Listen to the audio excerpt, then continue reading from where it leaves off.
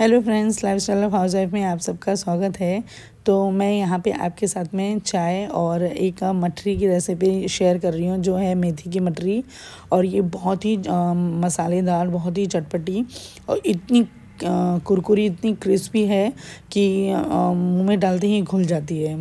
तो इसके लिए मैंने लिया है यहाँ पे 250 ग्राम मैदा ये पाव किलो मैदा है और इसके अंदर हम डालेंगे दो चम्मच घी। आप चाहें तो तेल भी डाल सकते हैं। बेसिकली हमको इसको मोयन करना है आ, इसको क्रम्बली टेक्सचर देना है। एक चम्मच मैंने यहाँ पे डाला है तिल और फिर इसके बाद में half T S P one T S P मैंने इसमें डाला है। हमारी जो क्रश की हुई चिल्ली होती है वो। और इसमें हम डालेंगे कलौजी। तो देखिए, कलौजी मैंने यहाँ पे लिए है। यहाँ पे वन टीएसपी कलौजी लेंगे हम लोग। और वन टीएसपी जीरा भी लेंगे, हींग डालेंगे हम इसमें। थोड़ी सी अजवाइन डालेंगे। आधा चम्मच मैंने अजवाइन डाली हूँ यहाँ पे। और एकदम बिल्कुल वन फोर टी एस मैंने इसमें हींग डाला है। अब इसको हम लोग पहले अच्छी तरह से मिक्स करेंगे। नमक डाल देंगे इसके अंदर सॉल्ट तो वो मेरा स्किप हो गया है यहाँ पे सॉल्ट डालने वाला। तो इसको ना पहले पहले हम लोगों को अच्छे से मिक्स करना है, इसको एक मिक्स देना है अच्छा वाला। और जब ये अच्छी तरह से सारा मिक्स हो जाएगा तो मुट्ठी बाँध कर आप देखेंगे ना तो ये, इकट्ठा होने लगेगा। जैसे क्रम्बली टेक्सचर होता है ना, वैसा इसका टेक्सचर हो जाएगा यहाँ पे। तो देखिए मैं कैसे अच्छी तरह से रगड़ते हुए इसको मिक्स कर रही हूँ ना, इसी तरह से इसको मिक्स करना है आपको। और इसके बाद में हम लोग इसमें डालेंगे जो हमारी कसूरी मेथी होती है वो। तो कसूरी मेथी इसमें क्रश करके डालेंगे। तो कसूरी मेथी इसमें मैंने डाला है वन फोर्थ कप जो होते हैं ना, वो मैंने डाला है यहाँ पे। आप चाहें तो अगर वज़न के हिसाब से लेंगे तो एक मुट्ठी डाल दीजिए आप, वज़न के हिसाब से, क्या हो तो बिल्कुल हल्का होता है वो। और इसको मैंने गूंधा है एकदम ठंडे पानी से, जो ठंडा पानी होता है, देखिए मैंने इसमें बर्फ़ डाली थी। और ये एकदम ठंडा पानी है, ठंडे पानी से इसको गूंदना है। थोड़ा थोड़ा पानी डालेंगे हल्का हल्का पानी डालकर इसको एक अच्छा सा जो आटा होता है ना थोड़ा सा ना एकदम नरम गूंदना है और ना ही एकदम कड़क गूंदना है। इसको बिल्कुल भी नॉर्मल आटा जैसा रहता है ना, वैसे ही इसको गूंदना है। और देखिए मैं कैसे थोड़ा थोड़ा सा पानी डाल रही हूँ। बिल्कुल ऐसे ही थोड़ा थोड़ा पानी डालकर इसको पहले इकट्ठा कर लेना है। जब ये सारा एक एक एक मतलब जैसे एक बॉल जैसा बन जाएगा ना, इसके बाद में हम लोग इसको पानी के छीटे मार मार कर अच्छी तरह से गूंद लेंगे। तो देखिए, मैं कैसे कर रही हूँ ना, बिल्कुल ऐसे ही करना है। अब देखिए, पानी के छीटे मारे हैं मैंने। अब इसको मिक्स कर कर के अच्छी तरह से दबा दबा कर, देखिए, ऐसे फोल्ड करना है आपको और इसको ऐसे ही आपको गूंदना है। देखिए। अगर गाड़ी की आवाज़ आ रही है तो please I am so sorry देखिए, ऐसा मैं, ऐसा ये गूंद कर हो चुका है अब।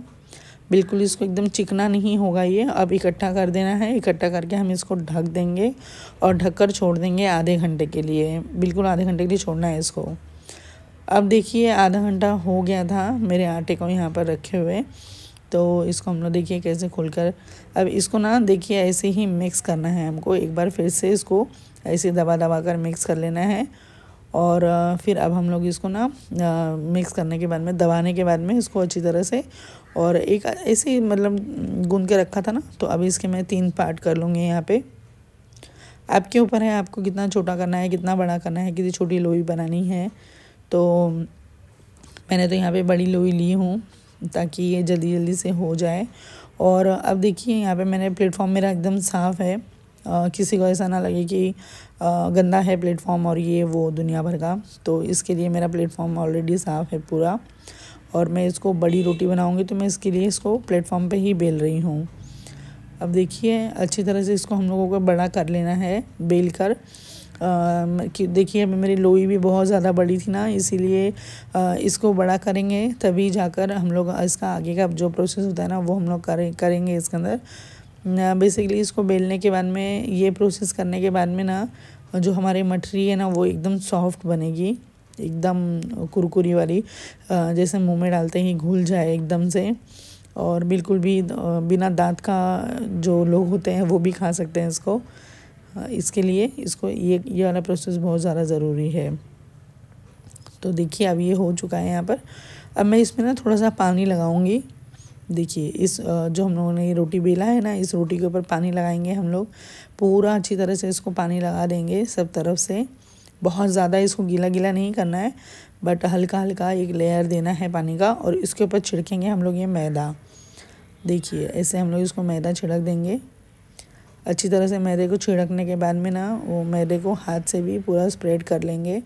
अच्छी तरह से देखिए, पूरा स्प्रेड करेंगे। अब धीरे धीरे एक साइड से एकदम टाइट कर, करके इसको रोल करते जाएँगे। थोड़ा टाइट करना है इसको और अच्छे से फिर देखिए, ऐसे रोल होने के बाद में इसको हाथ से ऐसे रोल रोल करके इसको अच्छे से फैलाना है थोड़ा सा, ताकि ये अंदर से दब भी जाए और, जो इसकी लेयर है वो भी हो जाए।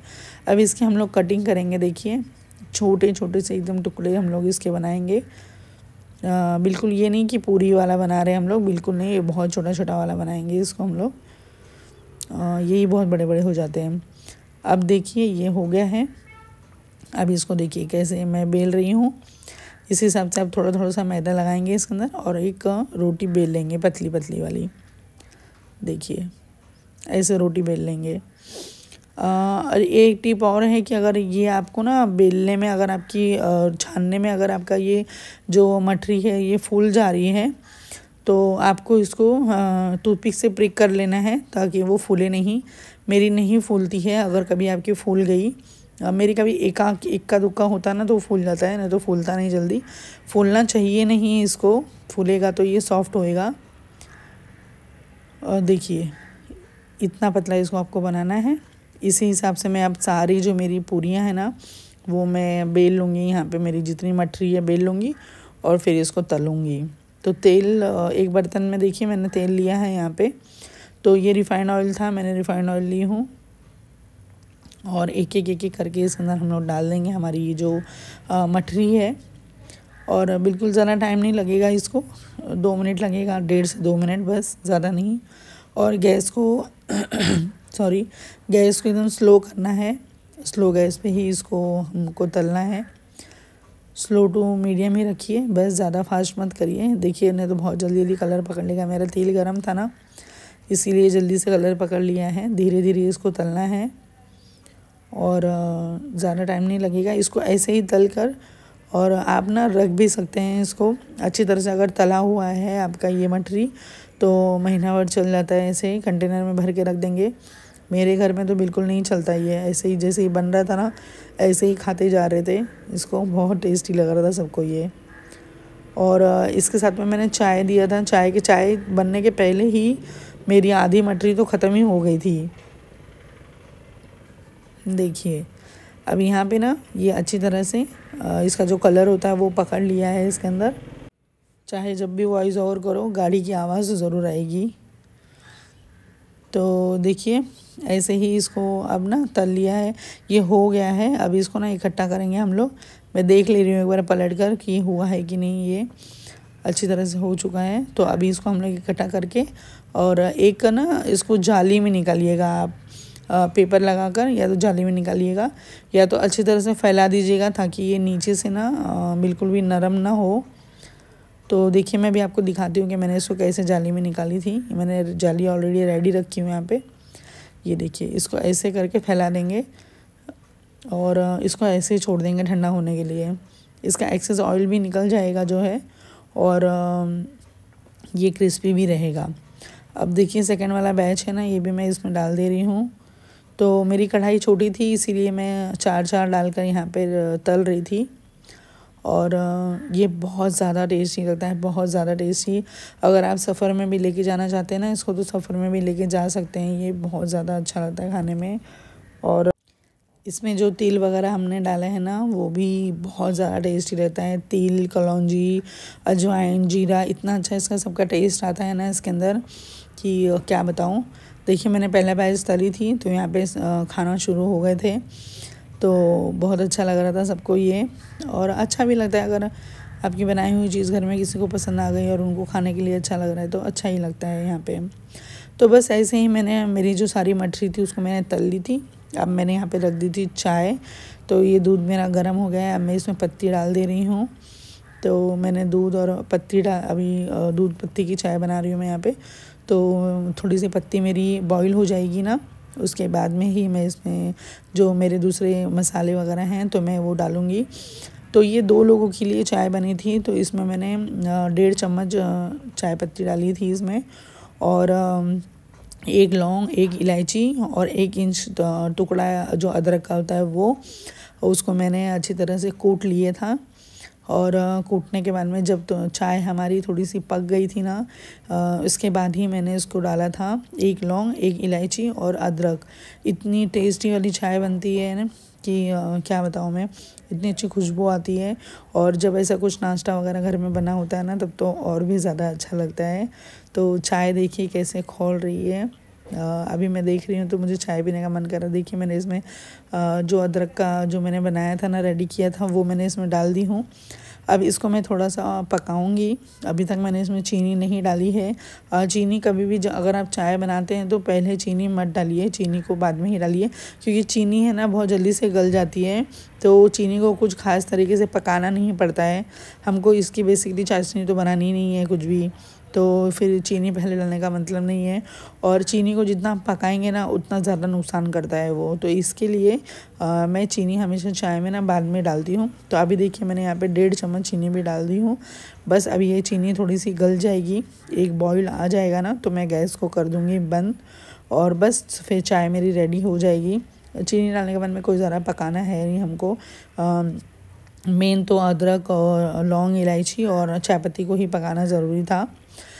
तो चलिए सर्व कर दिया है मैंने यहाँ पे। अब मैं चाय यहाँ पे देखिए निकाल रही हूँ। और चाय को इतनी अच्छी देखिए चाय का कलर कितना अच्छा लग रहा है ना।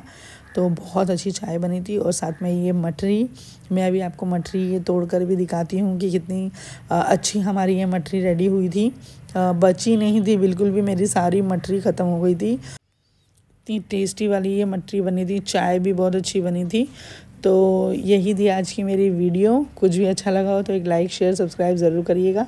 देखिए, हाथ में एकदम चूर चूर हो जा रही है ये, और खाने में तो उससे भी अच्छी थी। तो मिलती हूँ नेक्स्ट वीडियो में। तब तक के लिए बाय